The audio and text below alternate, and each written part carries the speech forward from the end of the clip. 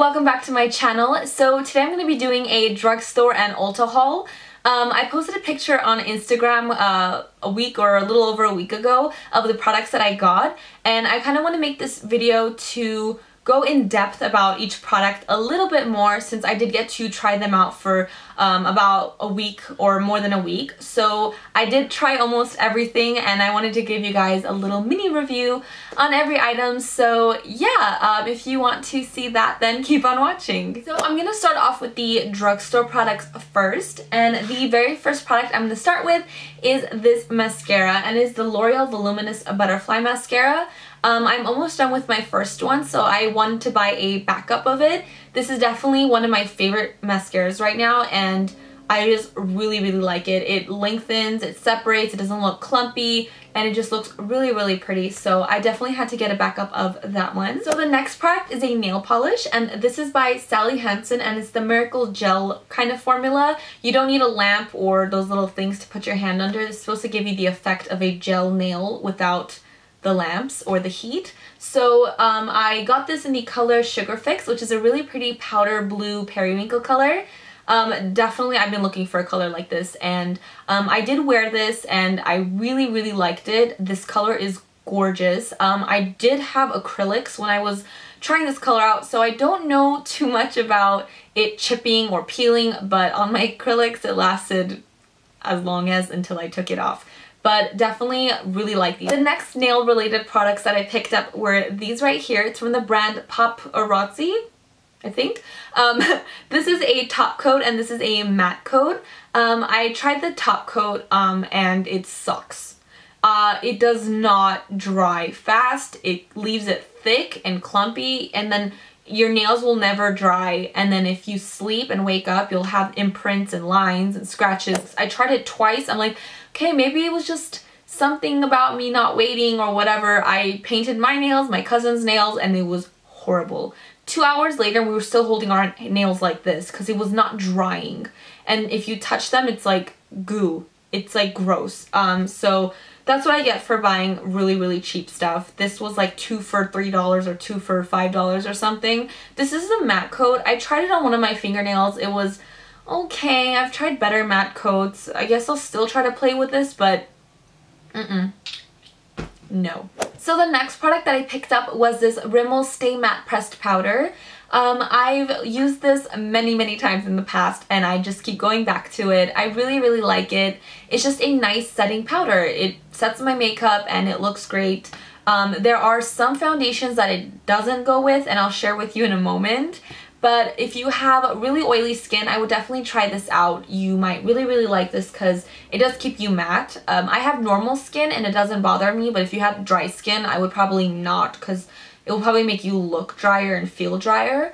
But yeah, this one is great and I will get to the foundation I don't like it with. So the foundation I'm talking about is the L'Oreal Infallible Foundation. That Rimmel Stay Matte Powder and this just don't, they just don't go together because they're both so mattifying that it just ends up looking so dry. So no on those two together, but separately this Infallible foundation I've heard so many things about, so I finally decided to pick it up.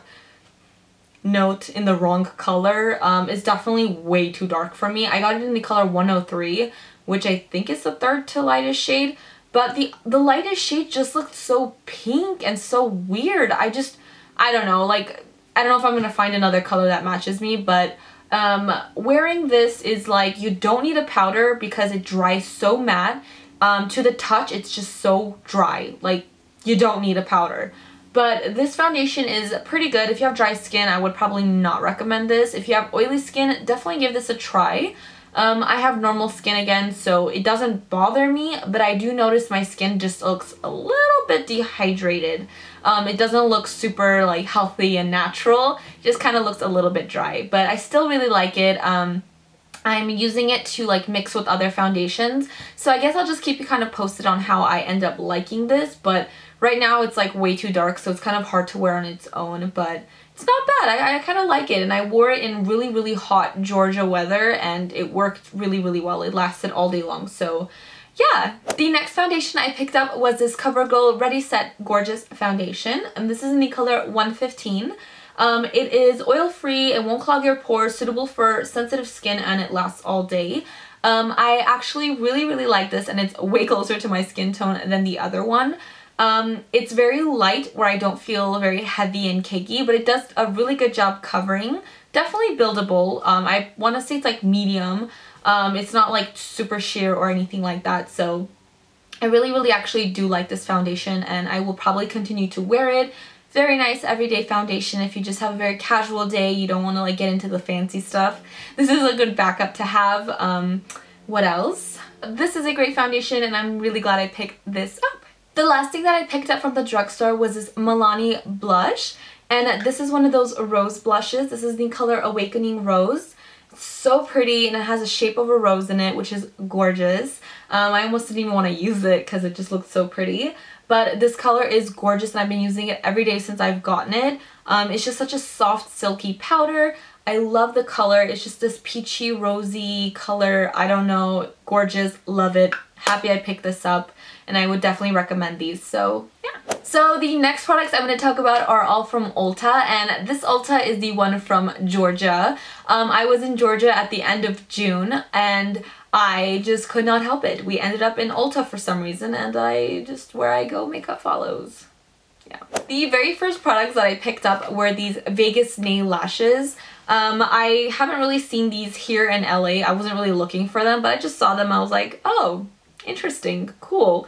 Um, these were the Grand Glamour lashes and this is the Shining Star. Um, I have not used these ones yet, but this Grand Glamour one is like really dramatic. Um, the one thing I can say is this Grand Glamour one has a very thick band. Um, so hopefully it's not heavy or looks too clumpy on the eyes. And the Shining Star is really pretty. They kind of more of those like fluffy lashes. So I'll definitely give these a try and I'll definitely post pictures when I do. The lashes that I have worn are these ones right here. These are the Ardell Deluxe Pack Demi Wispies lashes. Um, it comes with a duo um, lash glue and a little tweezer mechanism type of thing to apply your lashes with, which is really cool. Um, I've never used these Ardell lashes before, but I really, really like them. I was actually wearing um, a set of these in my um, video where I did the Fame Expo haul. They are really nice. They're very comfortable. I love these types of lashes that are just really wispy. They start off really um, short and they kind of just come out towards the end. Those are my favorite types of lashes, so I was really happy I got these and they're awesome. The next things I picked up were some NYX products. Um, I got this NYX HD Concealer and this is in the color 07 um, it's a lot darker than my skin. I got this because I wanted to do some cream contouring with these.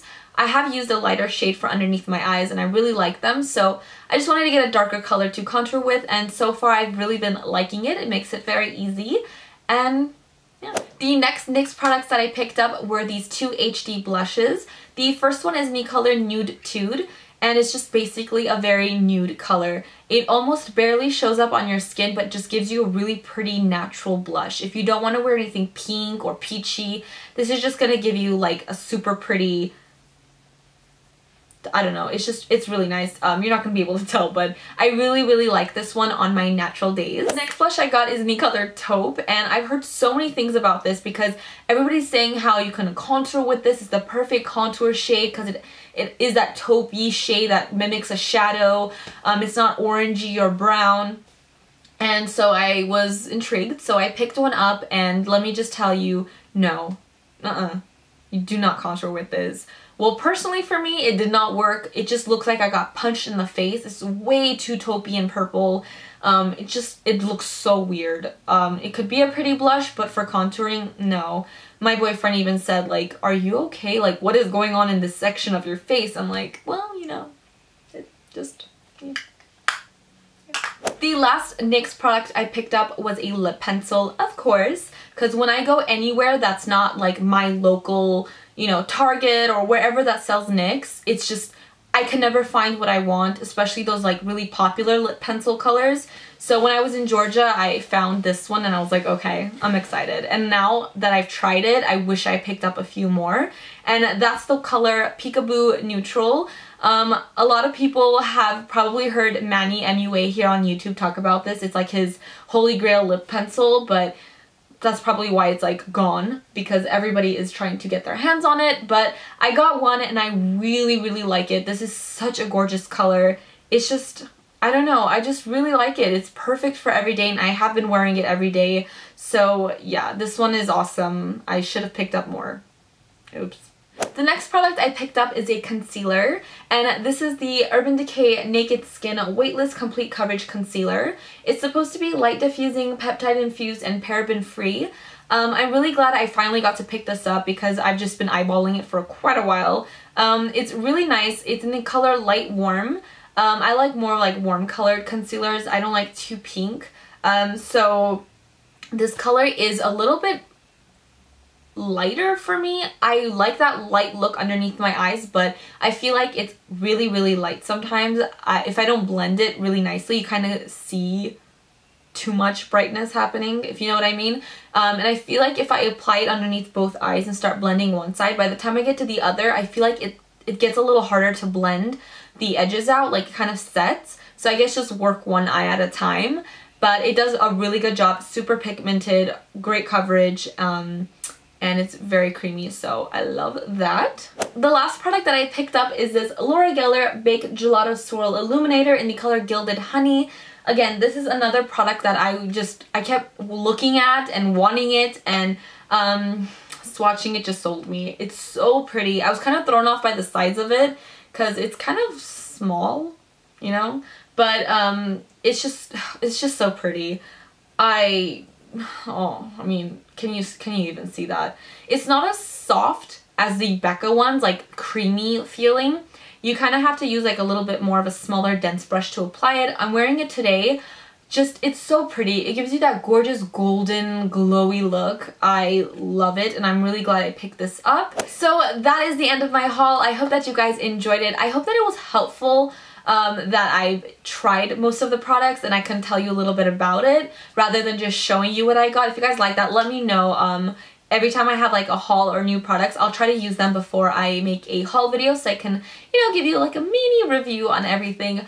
But other than that, don't forget to follow me on Instagram, Makeup by Jesi, for more pictures and swatches and looks and all kinds of stuff that I post on there. And don't forget to subscribe to my channel for more videos. And I will see you all in the next one. Bye, guys.